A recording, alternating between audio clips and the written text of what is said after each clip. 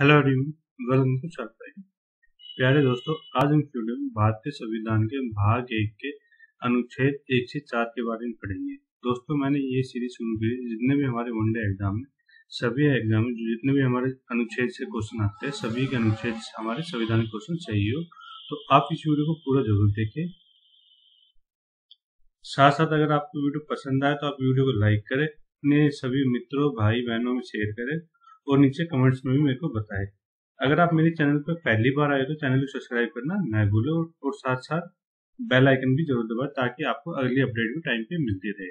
तो चलिए शुरू करते हैं आज की वीडियो हम इस वीडियो में क्या बात करें? संघ और राज्य क्षेत्र। संघ और राज्य क्षेत्र में क्या होते हैं?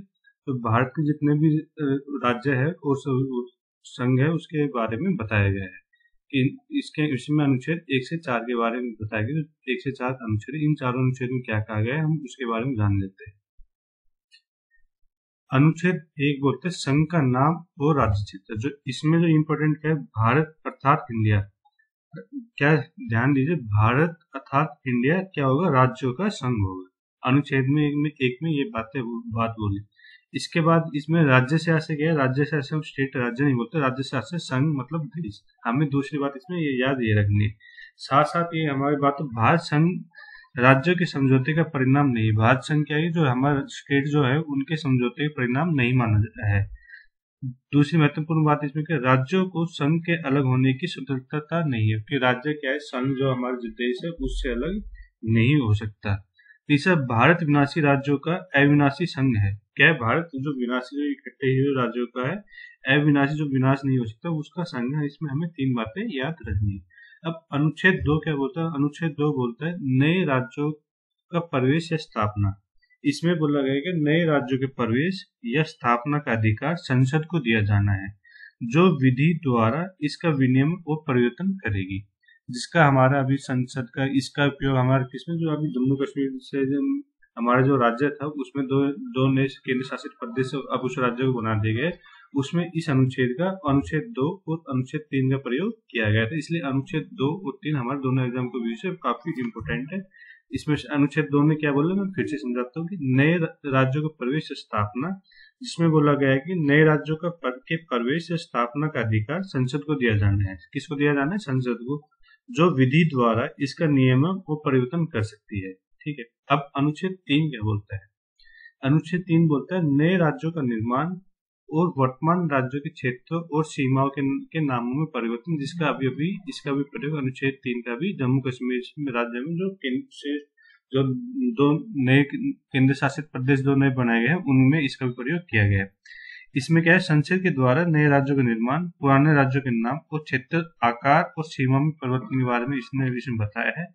इस साथ साथ इसमें और क्या बताया इसकी प्रक्रिया में क्या है, इसमें विधेयक को पेश करने के लिए राष्ट्रपति की सिफारिश इसमें आवश्यक होती है। अगर हम कोई विधेयक इसके अनुच्छेद तीन के अंतर्गत पेश करते हैं तो इसके लिए क्या होती है, राष्ट्रपति सिफारिश की आवश्यकता होती है।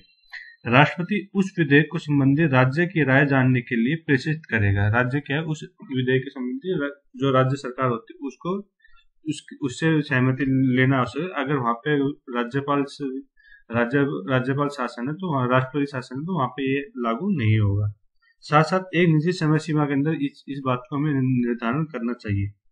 राज्य विधानमंडल की राय बाध्य, लेकिन क्या है राज्य विधानमंडल की राय लेना इसमें बाध्यकारी नहीं है, यह एक मात्र औपचारिकता है कि राष्ट्रपति चाहे तो उसकी राय ले सकता है, चाहे नहीं भी ले सकता है।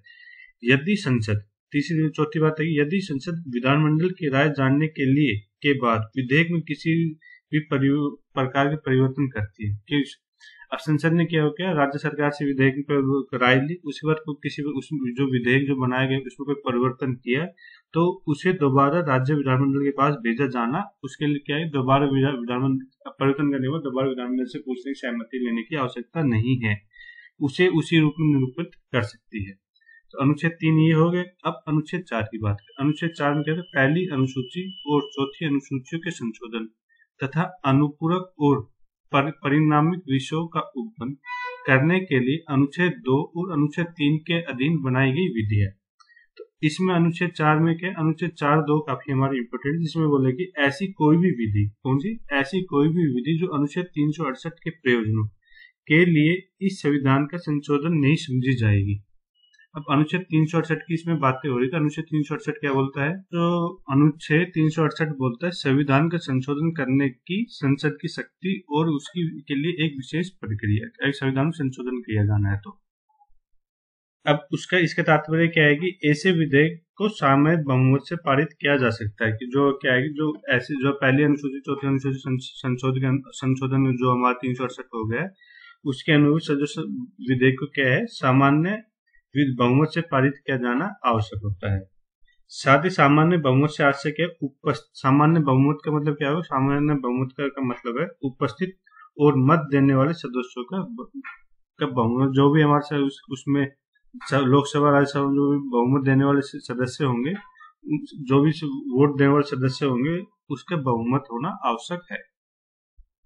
तो दोस्तों, मैंने इस तरह आपको चार अनुच्छेद बताए। संघ का नाम और राज्य क्षेत्र, नए राज्यों का प्रवेश या स्थापना। अनुच्छेद तीन बोलता गया नए राज्यों का निर्माण और वर्तमान राज्यों के क्षेत्रों और सीमाओं के नामों में परिवर्तन। अनुच्छेद चार क्या बोलता है? पहली और चौथी अनुसूचियों के संशोधन तथा अनुपूरक और परिणामिक विषयों का उपबंध करने के लिए अनुच्छेद दो और तीन के दिन बनाई गई विधेयक इस तरह आप इसका, आप इन अनुच्छेद का स्क्रीनशॉट भी ले सकते हैं। साथ साथ आपको मेरी वीडियो कैसी लगी, आप इसके मेरे को नीचे कमेंट्स में ज़रूर बताएँ। साथ साथ अगर आप मेरे चैनल पर नए हो तो इस चैनल को सब्सक्राइब ज़रूर करें और इस वीडियो इसमें सब्सक्राइब करने बाद बेल आइकन ज़रूर दबाए और अपने इस वीडियो को ज़्यादा से ज़्यादा अपने भी दोस्तों को शेयर ज़रूर करें। Thank you for watching keep watching keep planning have a nice day जय हिंद, जय भारत।